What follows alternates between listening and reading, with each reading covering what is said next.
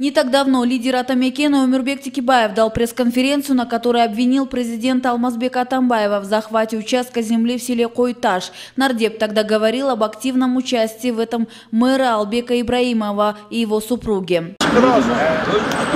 Жители села Койташ Аламудинского района в течение пяти лет обращаются с жалобами, требуют национализации участка, говорил парламентарий.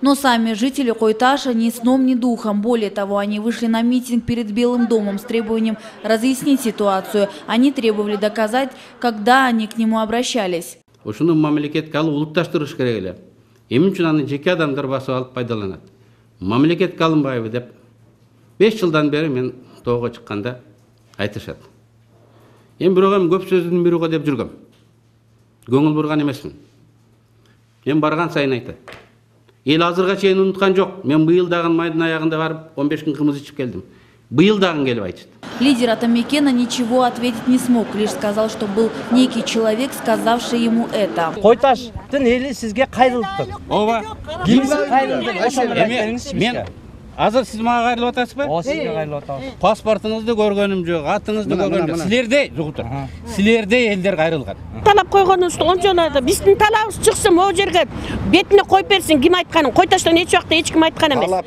айтпай талабы беш жылдан бері қойташ елі текебаевтан сұранып жатырмыз ошо жерибизди тартып алған бирөөлөр деп ошону беш жылдан бери текебаев бизге якобы жардам кылам деп чуркап атыптыр чуркап жүрөм. Койташ эли ыйлап жалдырап менин жеримди биздин жерди тартып ал деп атыптыр ошого